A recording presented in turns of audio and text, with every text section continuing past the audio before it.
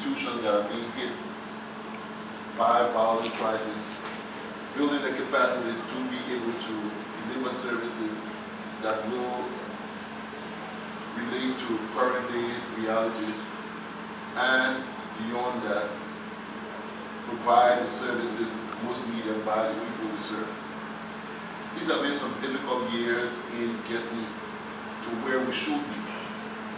But the uh, government of Japan, through the UNDP family, continues to stand by us, and for that we are most grateful.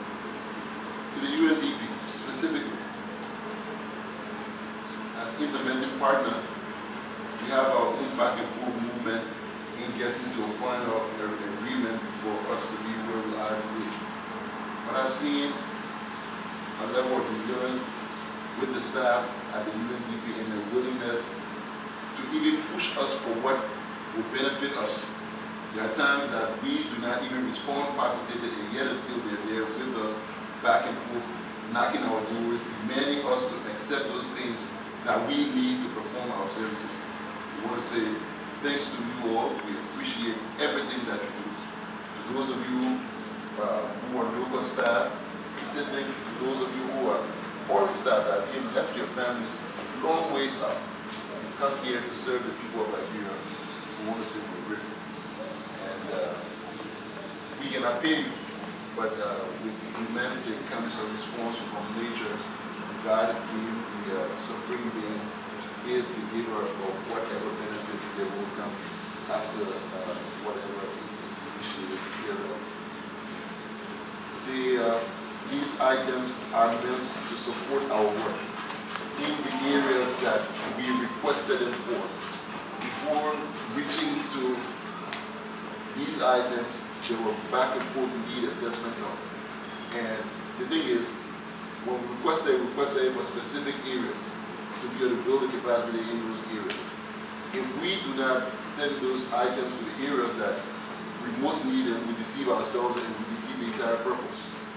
We want to uh, uh, say to the, to, the partner, UNDP, that these items will be used for the intended purpose. They will be deployed in the areas that uh, those needs that are, uh, that were present that led to these items being here today will be uh, uh, most needed. So we stand committed to the peace process, we stand committed to the service of our people, we stand committed to delivering internationally acceptable uh, service. Through this means, uh, this comes as a, as a way of building our capacity and enhancing our ability to deliver. We want to say thank you to those of us who are going to be using these items. That is another thing. Most times we do not appreciate the things that we, we don't understand how they're procured. But the money used to buy these things comes from people who have been through a lot. Come from people who ordinarily should not even be given based on the fact that they've gone through even more turbulent acts of God than just the war period. We all know what Japan has been through over the last few years. Yet still they stand with us, make the sacrifices, give us the taxpayers' money to get these things. Let's appreciate them. Let's, let's see them as our own and use them as our own.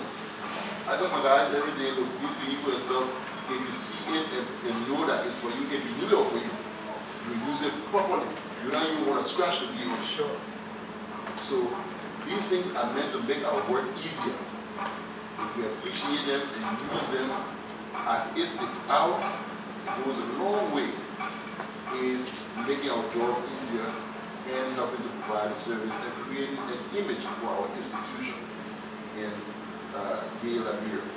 I want to say thanks to all for being here today. Thanks to the UNDP, the government of Japan, even to the heads of agencies that have been back, back and forth to ensure that these things are come true. Want big thanks to us all.